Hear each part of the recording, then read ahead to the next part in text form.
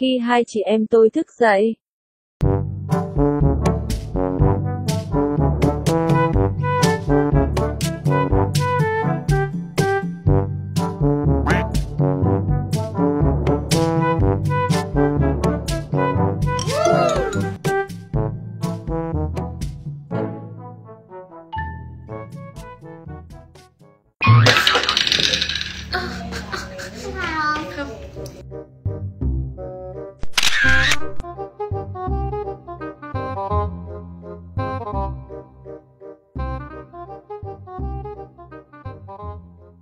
Nope.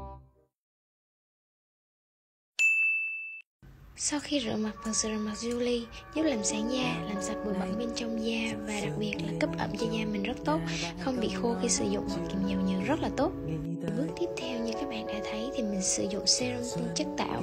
Mình thường dùng vào buổi sáng khi rửa mặt xong, nó giúp hỗ trợ đẩy mụn rất tốt, sẽ khít lộ chân lông và còn làm sáng da nữa đó. NANI? mình hậu đậu quá còn đây là lọ serum buổi tối giúp hỗ trợ trị thâm và dưỡng trắng phục hồi da bị tổn thương và còn ngăn ngừa lão hóa nữa đó